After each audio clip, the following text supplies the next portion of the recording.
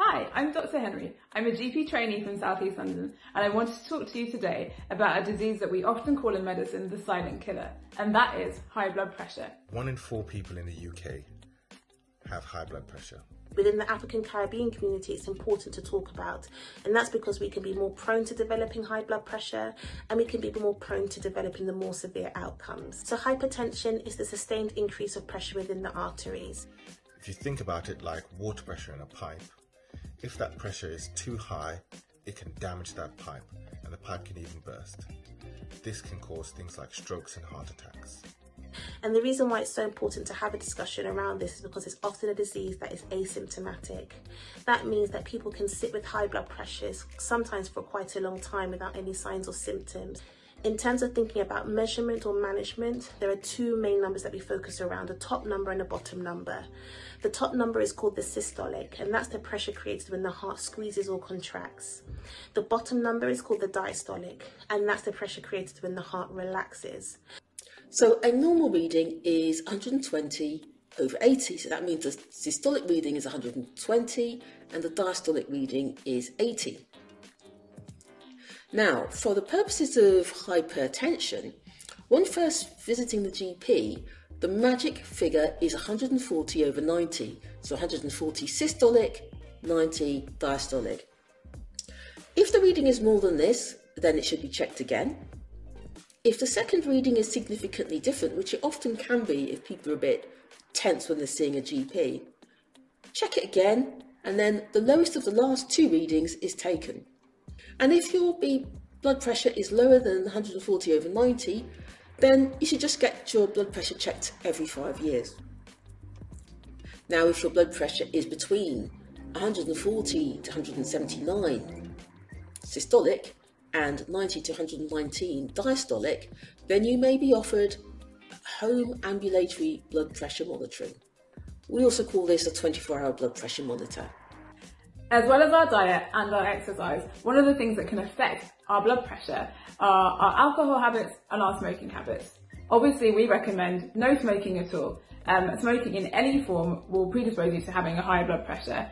Also, alcohol in high or heavy levels will also predispose you to having high blood pressure. So I recommend cutting down your alcohol or cutting it out completely if you wish. Who's at risk of high blood pressure? People of African, Caribbean, or South Asian descent, people who are over the age of 40, people who have an underlying health condition like diabetes, and anybody with family history of high blood pressure. Other things that put us at risk of high blood pressure are things like obesity, high salt intakes, high alcohol intakes, decreased exercise, and even stress. And salt intake is actually, again, particularly relevant to the African Caribbean community.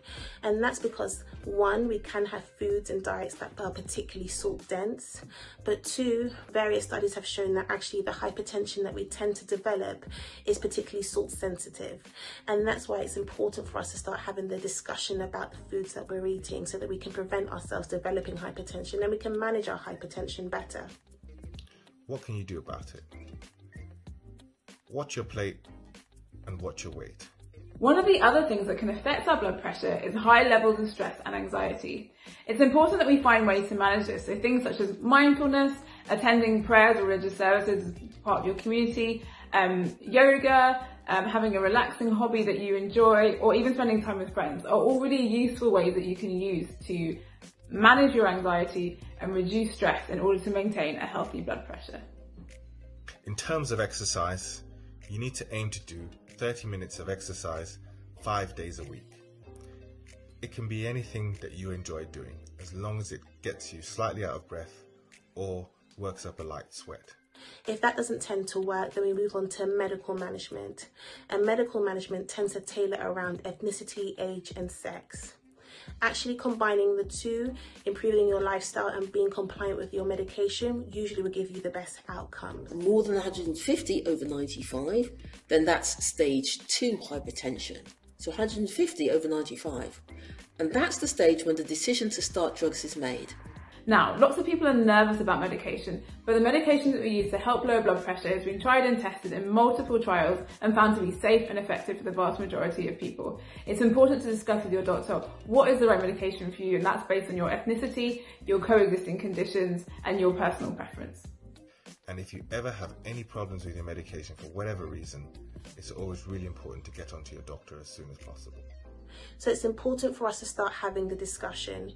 You can go down to your local pharmacy and get blood pressure machines and send in your readings to your nurse or your GP, or head down to your GP and have the discussion about starting to manage or even just getting your blood pressure measured as a start. So, if you'd like to learn more about hypertension, I would recommend looking at the resources on the patient.info website and entering high blood pressure in the search box. So, in conclusion, blood pressure doesn't have to be a silent killer. It's really important that you make an appointment with your GP and find out what your blood pressure is. If it is high, there are lots of ways your GP can help you to find to manage your blood pressure so that you can have a healthy and a happy future.